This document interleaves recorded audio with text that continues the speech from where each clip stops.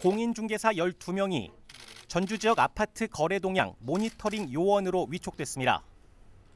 이들은 에코시티와 만성지구, 혁신도시, 신시가지 등 9개 권역에서 부동산 거래 현황 등을 분석하게 됩니다.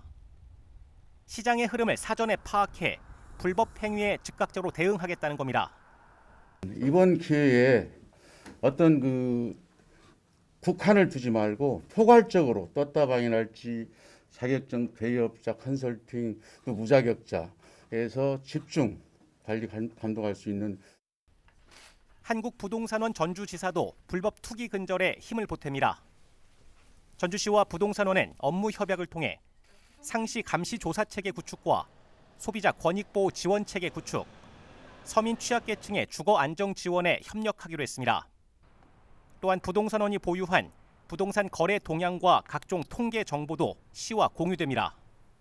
축적된 자료와 또 음, 업무 경험을 살려서 전주시에서 추진하는 부동산 투기 근절과 또 전주 시민의 주거 안정을 위해서 온라인을 통한 시민 제보 창구도 열렸습니다.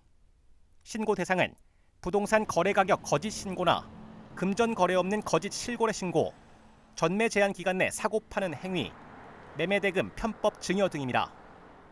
여러분들이 말씀해 주신 현장의 상황들을 듣고 어, 전주시에서 아파트 불법 투기가 반드시 근절될 수 있도록 전주시도 최선을 다 하겠습니다. 한편 앞서 꾸려진 특별조사단은 지난달 1차 조사를 통해 불법이 의심되는 66건을 적발하고 분양권 불법 전매 등 30건을 경찰에 수사 의뢰했습니다.